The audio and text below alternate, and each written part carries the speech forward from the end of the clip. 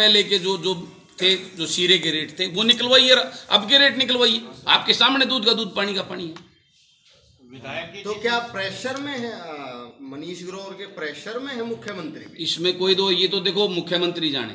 लेकिन आज भी जिस प्रकार से आप देखिए पहली बार इतिहास में ऐसा हुआ होगा।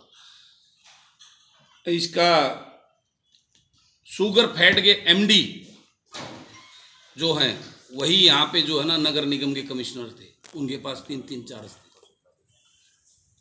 और वही एमडी जो है ना आज उसके बाद रोहतक के डीसी बने बैठे हुए। एक टाइम में तीन तीन चार्ज भी रहे हैं।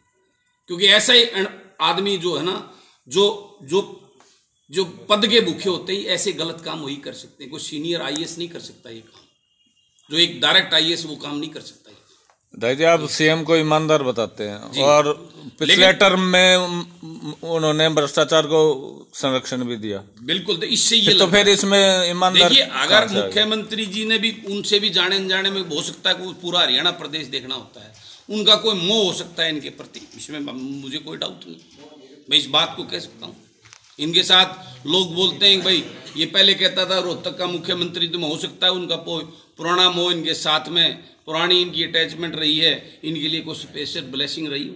तो मैं उसमें भी मुख्यमंत्री को मैं मानता हूँ अगर ऐसा है तो उन्होंने गलती की।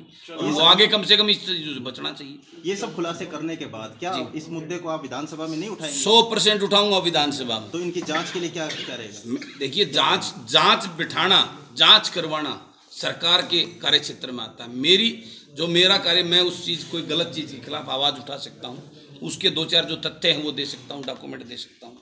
बाकी सरकार जाँच बिठाना अगर मेरे उसमें होती है तो मैं अभी जाँच बैठा के और इनको अरेस्ट करवा के अंदर जेल में भेजने का काम करूँ।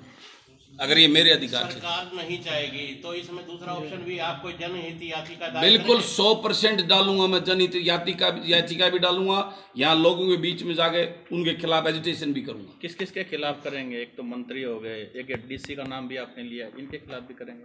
अधिकारी तो जो जो इन्वॉल्व रहे हैं सारे अधिकारी नेचुरली उसके अंदर आएँगे। जो भी अधिकारी रहे हैं अधिकारी आएँगे। आज ये देखिए, मैं आपसे भी पूछता हूँ, आपको भी बोलता हूँ, आप मीडिया के लोग हैं, यहाँ जो मॉडल स्कूल है, मॉडल स्कूल को अपनी पनौती बना रखे अपनी जागीर बना के रखा हुआ आप पिछले छः साल में कितनी अपॉइंटमेंट हुई है? दबा दबा अपॉइंटमेंट होने लग रही है। जाके निकलवाइए किस जाति की कौन कौन अपॉइंटमेंट हुई है। और उनकी क्वालिफिकेशन क्राइटेरिया देखिए। और उनसे ये पूछिए कि किस क्राइटेरिया के तहत उनको ज्वाइन करा के नौकरी देने का काम किया है? क्या कॉल किया? किस किस को बुलाया?